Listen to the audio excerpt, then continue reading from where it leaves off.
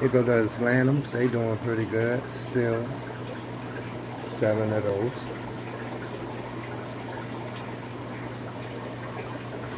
Discus doing really good.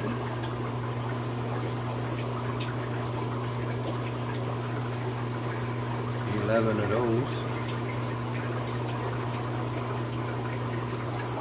I guess me and these carpintis, boy, I'm just going to have to get them a tank to themselves. They still got a few babies up there.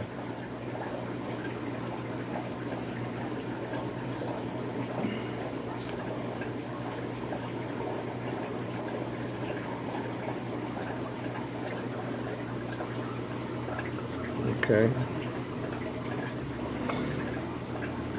Moving right along.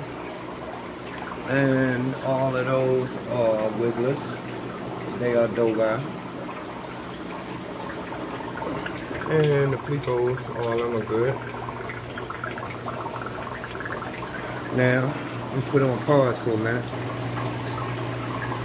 This is my RTM pair. And she laid a bunch of them on a on a uh, rock. And this is how I get them into each other. I'm not worried about this first spawn.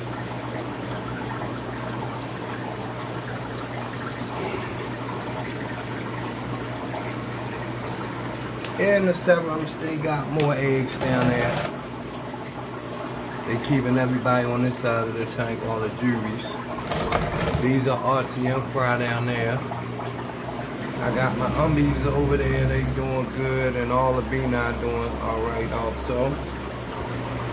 Real Mag Umby there. Midas.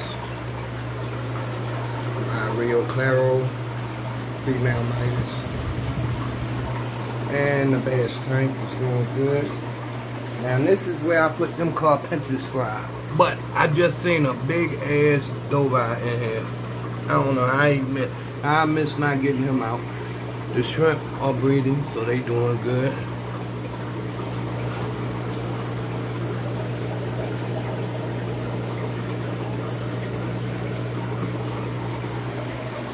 And these are ready to breed again too. See back there on the rock. What's a rock back there? And the other female, she hiding somewhere. Alright y'all, that's just a little all around. We got the Machadi doing good. They breeding. I see plenty of babies down there. And I got more plecos in here breeding. And the blue, Japan blue guppies. But it's baby pleco everywhere. There's one right there. There's baby plecos and the snails, all different kind of snails everywhere. A little baby pleco up there. Alright y'all, peace.